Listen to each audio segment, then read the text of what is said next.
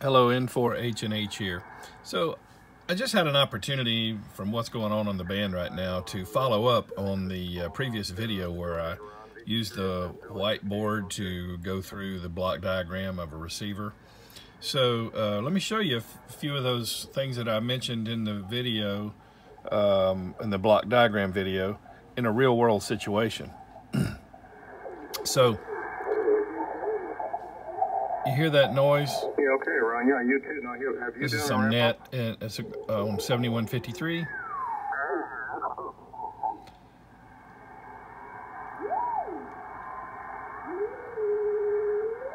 Well, while I'm at it, let me show you this. So you're going to find more and more of this happening as more and more electronic devices uh, enter the market that, quite honestly, um, aren't being scrutinized well enough for uh, generating RF. So there's there's no telling what that is. So that's an opportunity to use a manual notch filter.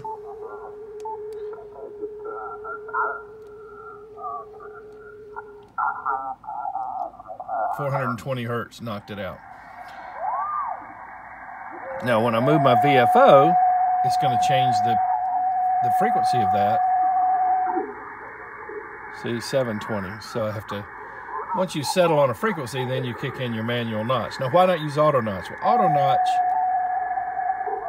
is not very effective against something like that because it's a little too narrow. And it's looking for a pure tone. See this? You can see the little uh, graphic there. A little bit wider to handle that because you notice that's not really a pure tone. Okay, so we've got a guy here on 7153.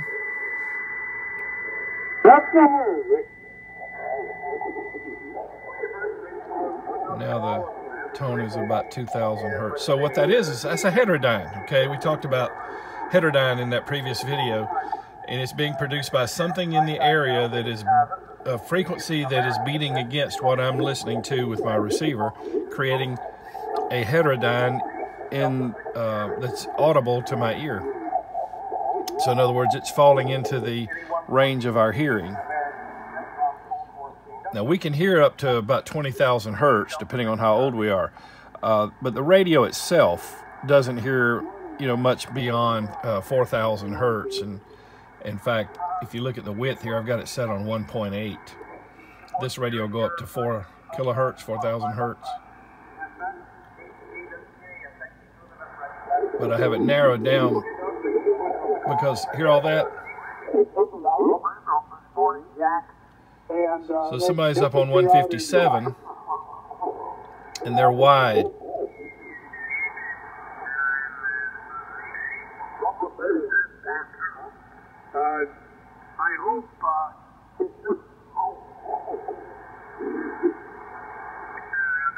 No, he's he's in reason. He's he's less than three kilohertz. So he's all right. But I'll use this as an opportunity. These guys, it's a net where they do CW as well. Now this is give you a little bit of an idea what I meant in the video about CW being narrow. Watch, I'm gonna move.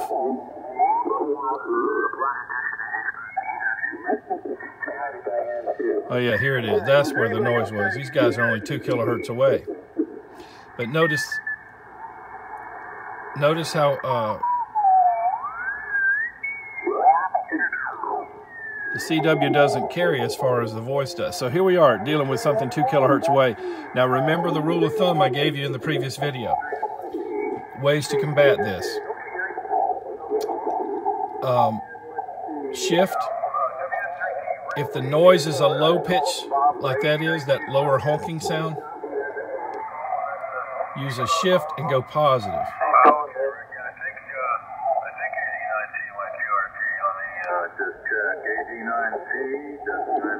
Now it's going to thin out the audio of who you're listening to, but also should help minimize some of that uh, honking you're hearing. Now the other thing you do is narrow your width. I'll go down to 1.5.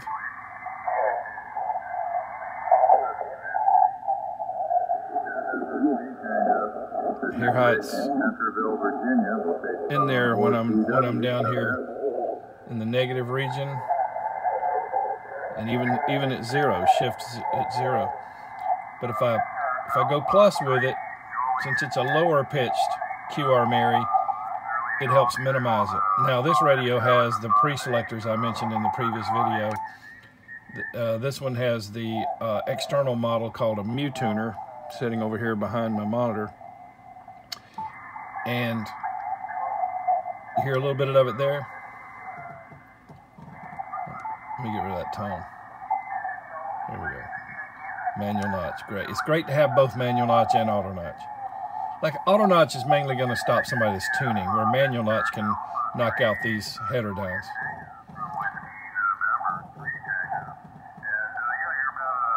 Okay, so what I've done here is I'm shifting the center point of the mu tuner away from the free. You see, they're two kilohertz above, so I'm shifting away from where they are with the mu tuner, dropping him down. You look at the S meter, dropping him down in signal strength, and notice how thin he sounds. That's because I've got the width set at 1.5. Okay, so but see what happens when I hear that.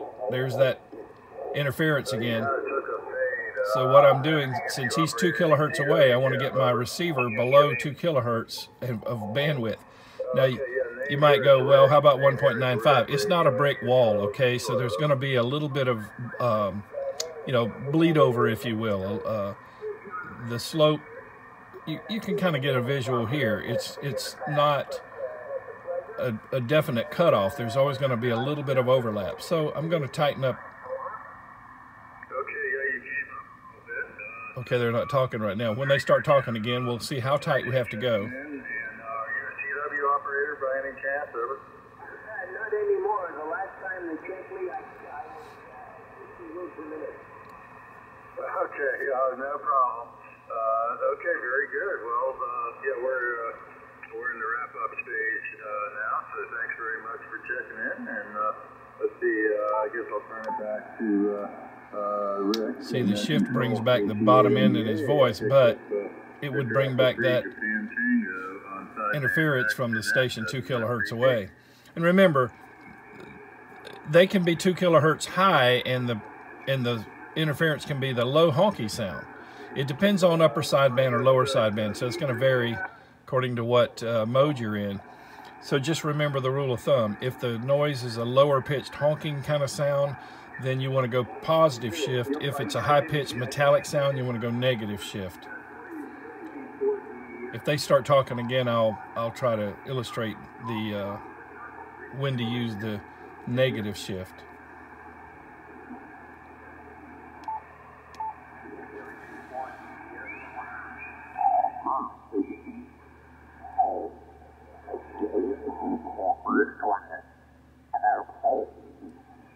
Well, I'll, It, uh, there's a station here, so I'll go. I'll go to 159, two kilohertz above him. So pretend I was having a QSO here and he moved in. Hear the higher higher metallic sound? That calls for negative shift.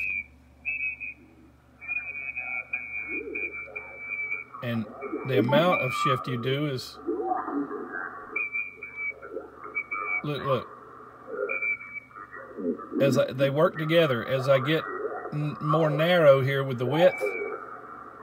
And remember this is that DSP width. This is the computer part of the radio.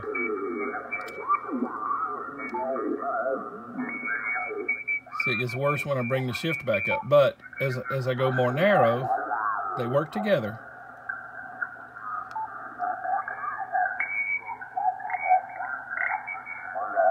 But now, now we have some interference from below. You can't attack both of them. You just have to compromise.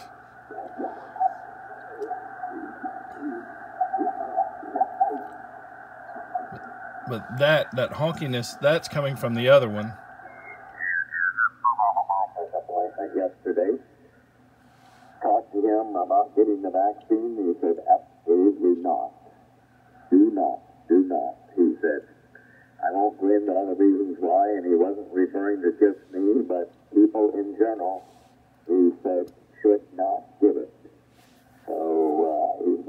Doctor for a long time. I guess I have to take his advice, which I will. He said,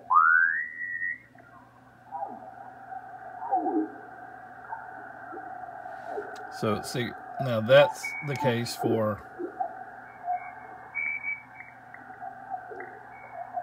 negative shift. Here come right back. Now I am using the mu tuner to, to help me a little bit. Let's try it without the uh, the pre-selector here. Shift does a pretty good job. Of course, the pre-selector was set for that previous situation. try and get a haircut.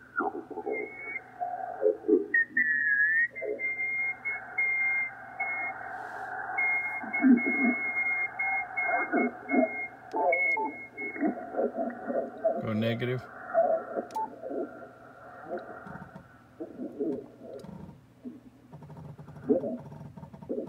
Yeah, that's the only problem is when you got it from both both sides.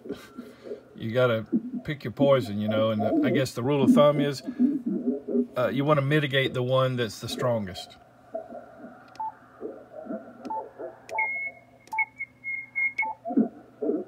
I would say the high pitched one is is the most annoying.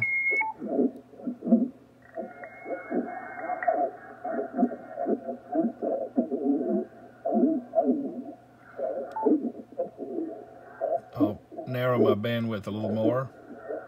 Now this radio has a, a, an option here for CWN and sideband co- NAR narrow, and now the maximum is 1.8, but it can go down to 200. But you can't understand what they're saying.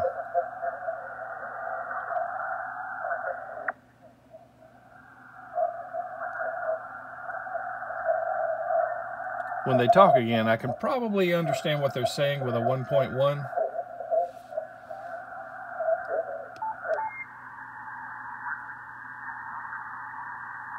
Well, now they've all quit talking.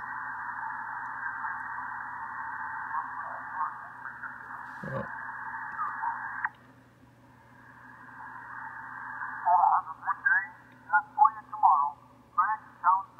see, that's a 1.1 filter width. I can understand him. If I had to in crowded band conditions, I could work with that.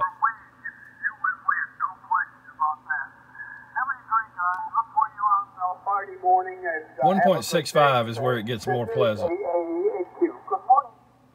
But again, crowded band conditions, you have to do what you have to do. And of course, that's going to be during contest conditions or, you know, uh, God forbid, a national emergency. Pretty much a no. So tell me three zero This is K08B. Yeah, well, I've had root.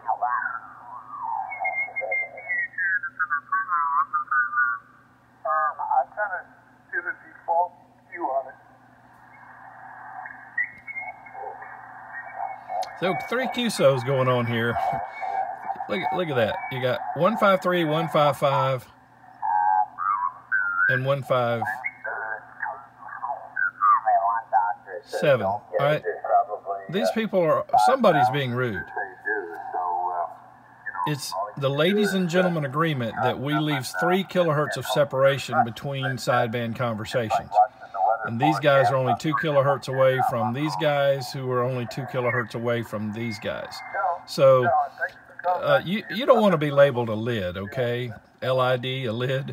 Um, this is terrible operating practice. Now, I don't know who's at fault here because somebody was on here first and then somebody must have moved in and just disregarded that there was already a QSO uh, going on.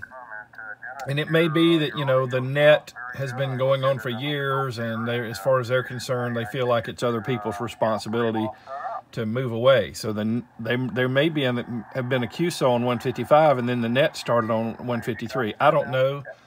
Uh, but you know nobody owns the frequency not even a net it's it's just a ladies and gentlemen agreement that we uh, try to you know allow three kilohertz of bandwidth and, and of course the reason for the three kilohertz is like I mentioned in the previous video let me get back off of the narrow All right. Well, thank you. Um, there's three kilohertz of bandwidth Uh, I'll be back. Hear how much be better the voice sounds? W9PO kids. It's not bad though at 2.4. Okay, is it called, is it called Bravo Oscar Quebec? And like I mentioned in my previous video, even 2.1 is Well, it's, okay. uh, yeah, it's logged wrong, uh, Don. It's Bravo 1.5 Oscar Quebec. starts sounding nasally. Same name as Dennis and uh, in Tennessee. That, that's kind of weird.